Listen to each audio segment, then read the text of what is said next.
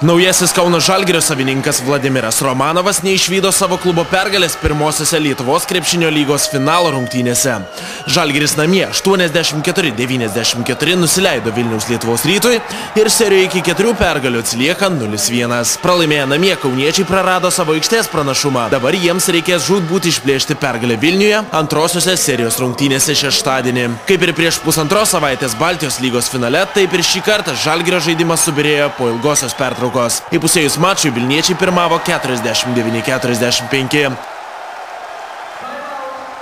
Tačiau trečiajame kelinyje spurtavo 19-3 ir susikrovė solidžią 18 taškų persvarą 68-50.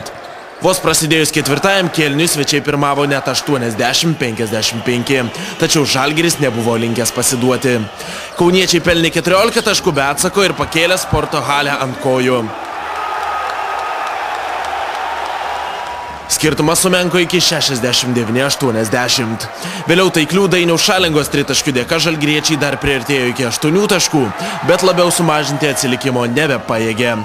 Ryškiausiai pirmosiose LKL finalo serijos rungtynėse spindėjo Čeko Eicono žvaigždė. Jis pelnė 30 taškų, išprovokavo 12 pražangų ir surinko 36 naudingumo balus. Jo komandos draugas Marijonas Petravičius surinko 15 taškų. Žalgirį išsiskyrė Paulius Jankūnas, kurio sąskaitoje 20 taškų, 8 atkovoti kamuoliai ir 4 rezultatyvūs perdavimai. Per LKL finalo istoriją tik viena komanda pralaimėjusi pirmasis finalo serijos rungtynės namie vėliau sugebėjo tapti čempione. Tai 1994 metais padarė Žalgiris, nugalėjęs Kauno atletą. Vytautas Mikaitis, Jonas Miklovas, Basket News LT.